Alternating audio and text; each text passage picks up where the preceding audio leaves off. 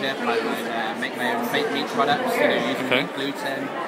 I would actually uh, make my own vegetable stocks, like a, like a concentrated vegetable stocks, because Okay. obviously when you cook meat and fish, you know, you get a lot of flavour from the meat and the fish. So with vegan cuisine, you have to kind of make your own flavours. It's a lot of oils, a lot of um, stocks and stuff. Um, so I, would, I used to make my own vegetable stocks, and um, I would reduce it down to make like a thick vegetable uh, syrup.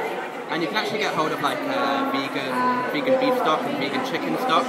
So I would add cubes of vegan beef stock and chicken stock uh, to the flavorings. And uh, I don't know if you're aware of uh, wheat gluten. It's uh, the gluten from the flour. So, yeah. Um, I used to make uh, wheat meat, as we call it. Um, you'd mix the, uh, you'd add some flavourings like some soy, some honey, uh, not honey, sorry, some ginger, um, you know, and other flavourings, and then add your concentrated beef stock or your um, your, your vegan chicken stock, and you make like a dough, and then um, we'd, we'd cut it into portions and, and boil it, and then you've kind of got like the consistency. You've got like a piece of meat that's like that's the consistency, and it has the um, flavour of actual meat, and um, from that I'd make things like lasagnas and chilies. I'd make my own homemade burgers. So for, for an average for an average say week on the ship, what would be a main meal, for example, like a main evening meal, for example, that you might have? I mean. I'd come up with a huge amount of ideas. Like from the from the wheat gluten, I'd come up with like lasagnas and chilies and burgers, just like a, a normal meal, but um, you're just using the wheat meats, which is great because it's it's 90% protein and it's zero fat content. So it's Okay. kind of like eating the meat,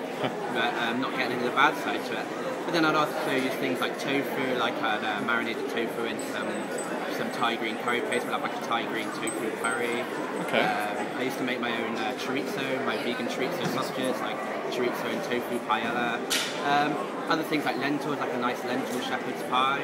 Um, I think what else I did. Uh, What, what is it like being um, staying healthy on board a ship for a long time? I mean, you know, and historically, you know, scurvy and the fresh limes and all that kind of stuff. What is it like these days for being for being being vegan and staying well with uh, fresh fruits and vegetables? Like, how do things like that go? The, the biggest problem I have is that I'm on the Bob Barker and we can spend 95 days at sea.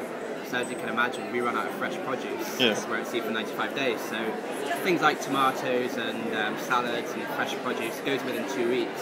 Things like um, like you know your root vegetables like carrots and pumpkins and things like that. They they can last for another month on top of that. So after that, it's pretty much two months of like dried, frozen, um, dehydrated or tin tin food basically.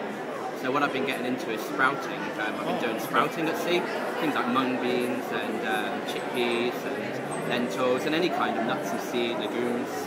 Um, you can sprout basically, and when you do sprouting, you you can actually uh, multiply the uh, nutrients by up to 20 times. Oh. So it's it's I mean eating raw food is good for you, but eating food that's still alive, well, that's 100 times better. So you know you eat sprouts every day and you, you live to 100. So that's really good for sea. You know that's really good to keep fit and healthy. to Eating sprouts, so that's my way of kind of tackling the whole the whole health. Well, thank you very much for your time, Roger. Yeah, no worries. It's been a pleasure.